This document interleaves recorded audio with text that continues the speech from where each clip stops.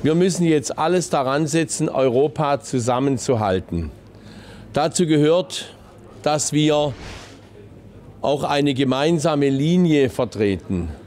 Und da bin ich doch einigermaßen überrascht, wie in der SPD unterschiedlichste Vorschläge jeden Tag kommen.